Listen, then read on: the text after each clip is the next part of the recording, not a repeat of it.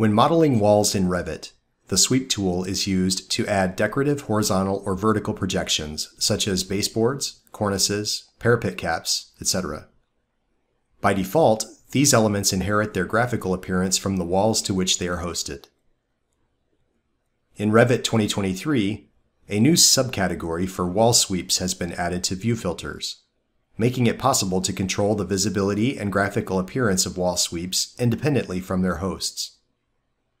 For example, you can create a view filter that overrides the line work display for the wall sweeps subcategory. Once the filter has been defined and added to the view, wall sweeps are automatically colorized as specified.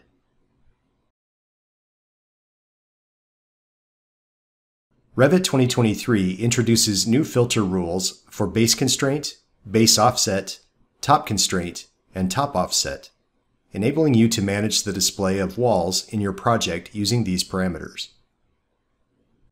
As an example, you can define a view filter for a base constraint of level 2, such that all walls created on this level are displayed in green. Using this approach, you can visually identify walls based at specific levels throughout your project. These view filter enhancements give users better control over the display of walls and wall-hosted sweeps in their views.